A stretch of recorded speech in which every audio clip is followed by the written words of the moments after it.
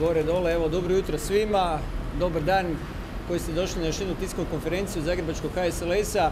Okolnosti su takve da vučemo nekakve teme gdje ne možemo ići na teren, ali e, mislim da teme nisu manje ništa interesantne s obzirom na problematiku u gradu Zagrebu.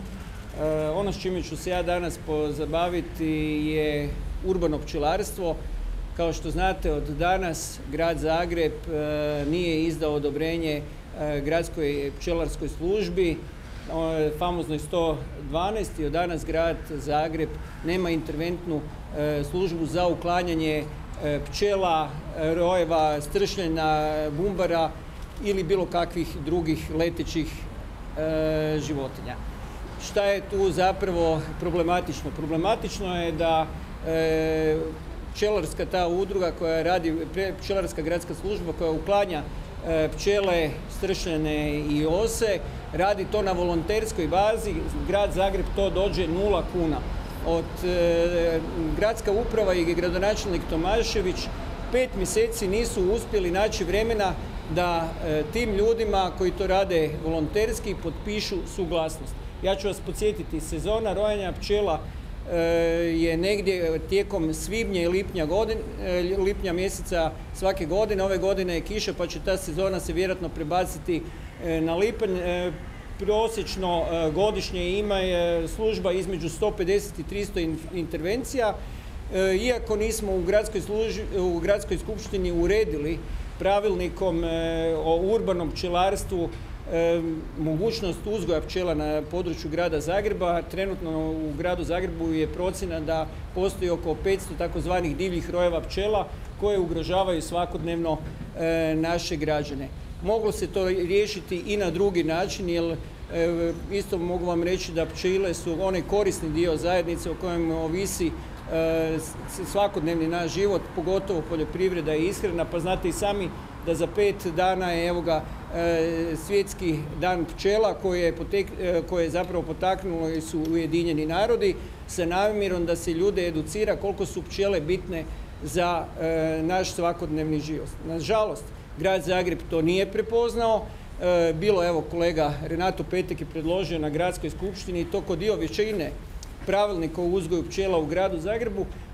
to je odbijeno uz suludo zapravo i racionalno objašnjenje da pčele ugrožavaju druge divlje e, pčele ili zajednice i da one nisu primjerene u gradu Zagrebu, što je izvan svake pameti. I još jedna bedastoća mi se čini gradske vlasti koje je u suprotnosti sa, zdravim razumom i sa e, mišljenjem znanosti.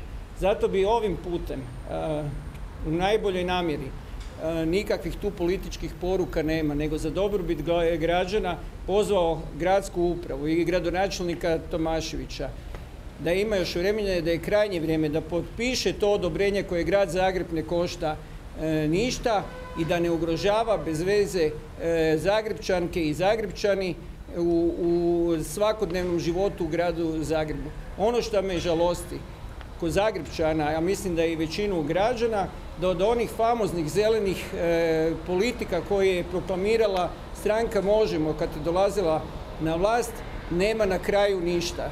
Da je to sve bila velika prevara, na ovakvim pitanjima se vidi da oni nisu uopće orijentirani prema zelenim politikama i da su te zelene politike deklarativne.